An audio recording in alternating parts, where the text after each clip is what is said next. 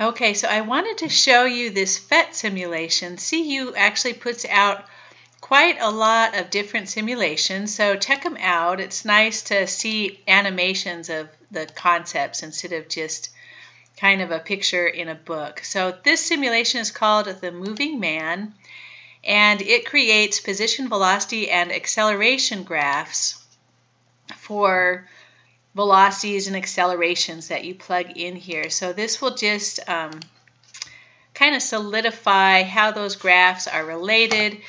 Instead of going to introduction, go ahead and click on charts. And you see you have one chart here for position, one for velocity, one for acceleration. And you can open the simulation up, play around with it, and there's going to be a short D2L quiz that has you identify what's happening at different points on this graph. So let's say I start my guy out at a position of negative 10. I'm just typing numbers in here. And I'll give him an initial velocity of 9.9 and have a negative 2.5 meter per second squared acceleration. Okay, so what I'm going to do, I'm actually going to hit minus here so that you cannot see the velocity graph.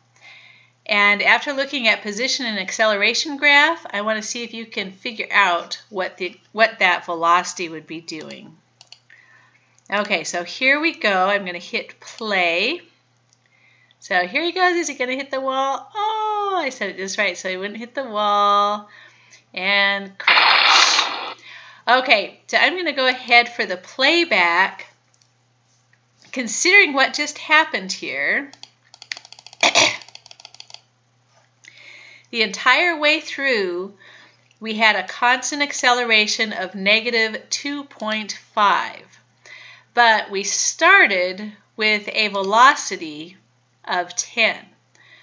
Right? So that positive velocity, that this negative acceleration is slowing it down, slowing it down, slowing it down and then speeding it up in the opposite direction. So it's slowing down and speeding up even though the acceleration is constant. So considering these two graphs, would you be able to sketch what the velocity graph looks like? Remember, acceleration is the slope of your velocity. So here I go. I'm going to open up my velocity graph were you able to figure that out?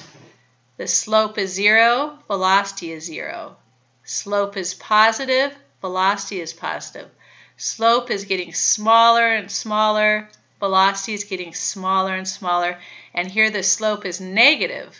This is where he had turned around and is now traveling the opposite direction. So here's we have a negative velocity. But you notice through the whole process of slowing down to a stop, and speeding up, even though we're slowing down and speeding up, the slope of this curve is constant and negative the whole way through. So we have a constant negative acceleration the entire way through. So acceleration is not slowing down and speeding up. It's not change in speed, it is change in velocity. And the best way to think of acceleration is not like you think of it in your car, speeding and slowing down your car. That's not acceleration. Think of F equals ma, Newton's laws. So acceleration is the unbalanced forces acting on the system. So if I play this again, imagine a negative force, negative acceleration, a negative wind. So if the wind was blowing at this guy to the left, just blowing, blowing, blowing, blowing, blowing, just constantly blowing. So it slows him down and now it speeds him up. But the whole way through, that wind is blowing from the same direction the entire way through, right? So that negative force is constant even though it causes him to slow down to a stop and then speed up in the negative direction.